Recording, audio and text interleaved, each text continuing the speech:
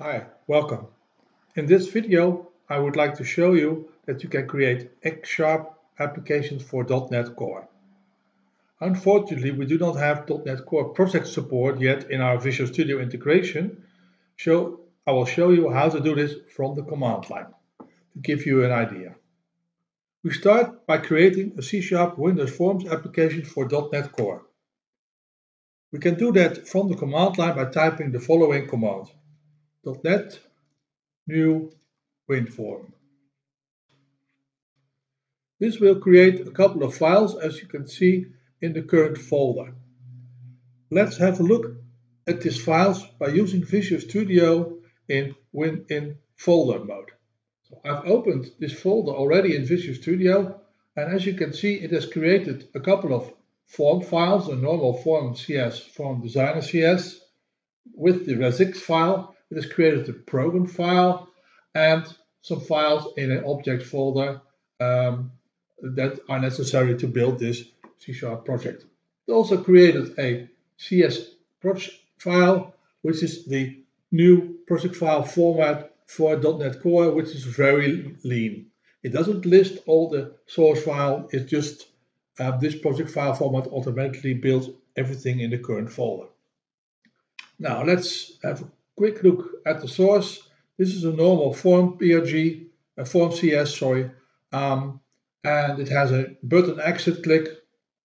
There's a form designer which declares a label, a button exit button, and some dimensions.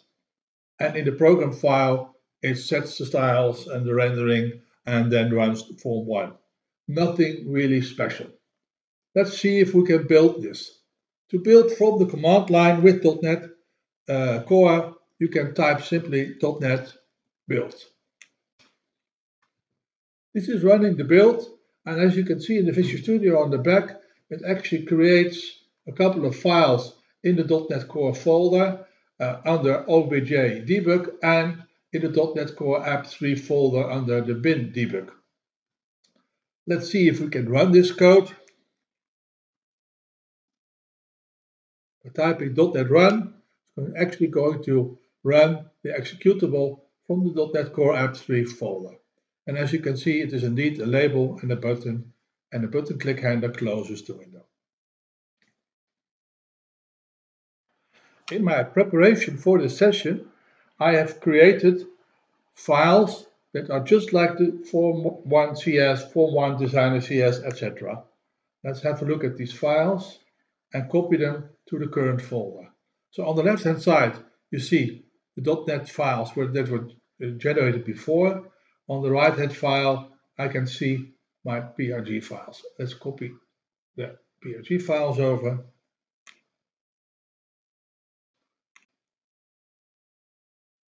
So as you can see now, they're all in this folder. Unfortunately, like I said at the beginning, we do not have this CS Proj support the way .NET Core has it now. So to be able to build it, we need to actually create a command line for the compiler that tells us how to link in all the .NET Core assemblies. And there are quite a few of these assemblies. The easiest way to collect this is to capture the build process from C Sharp and then uh, get the command line that C Sharp uses. Let's do that. I'm going to uh, clear my folder first, so to force um, .NET to actually it's clean, sorry. And then I'm going to build but I set the build verbosity to diagnostics and I'm going to redirect the output to a log file. Okay, if we look in Visual Studio, we see that a quite a large log file has been generated. This log file contains a lot of information. Let's look for the command line. It's a line that contains csc.dll. Over here you can see the command line and it's quite large. This is all one line of code. Now what I'm going to do is I'm going to copy this code and create a new file called build.rsp and I copy the source in there.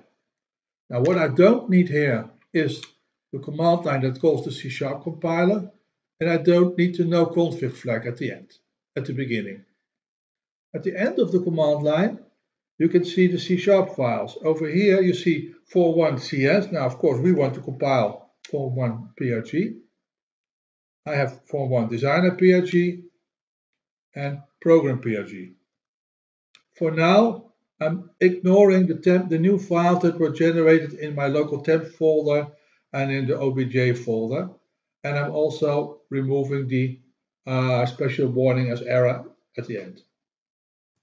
So this build RSP now has a list of all the assemblies that were also linked against the exe um, for C Sharp. And now we are able to build this in X Sharp.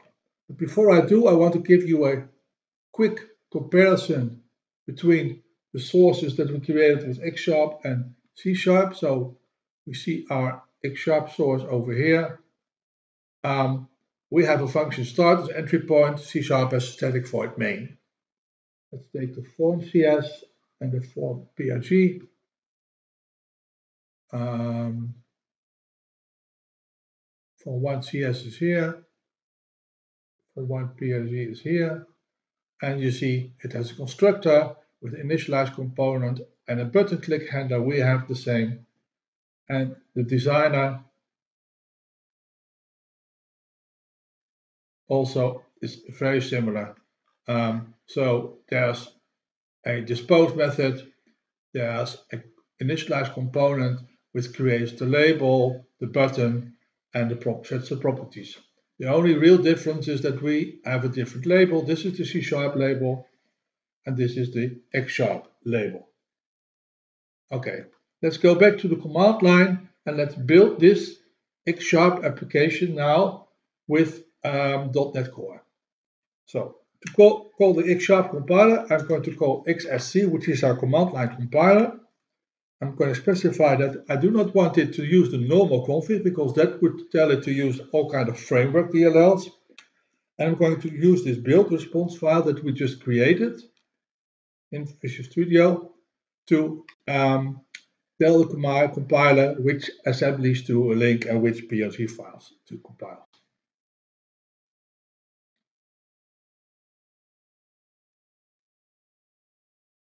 Okay, it has compiled. And let's see what happens if I do .NET Run.